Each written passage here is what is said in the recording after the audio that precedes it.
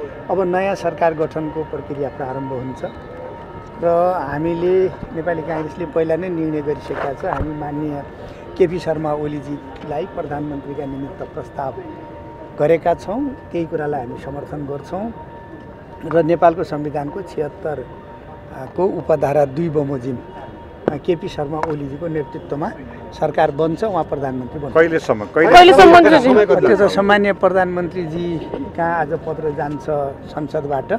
अब उहाँले आह्वान गर्नुहुन्छ अहिलेसम्मको परम्पराअनुसार।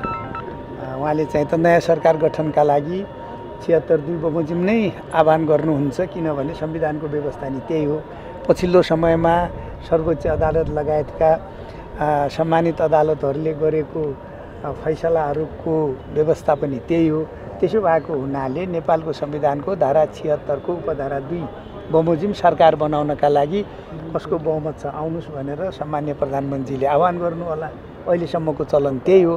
त्यसपछि हामी मान्य केपी शर्मा ओलीजीलाई प्रधानमन्त्रीका लागि समर्थन गरेर जान्छौँ र मान्य केपी शर्मा ओलीजीले प्रधानमन्त्रीका लागि दाबी गरेर जानु। माओवादीका साथीहरूको भनाइअनुसार यदि मान्ने हो भने तिन अनुसार बन्छ सरकार भन्ने छ तपाईँहरू दुई भन्नुहुन्छ यो बाँची हो कुरा।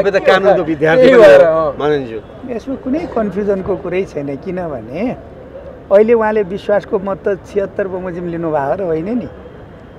उहाँले छिहत्तर धारा छिहत्तरको व्यवस्थाभित्रको विश्वासको मतका लागि प्रस्ताव गर्नुभएको भए धारा छिहत्तरकै दुई तिनका कुरा उठ्थे। उहाँले संविधानको धारा एक सय अन्तर्गत लिनुभयो।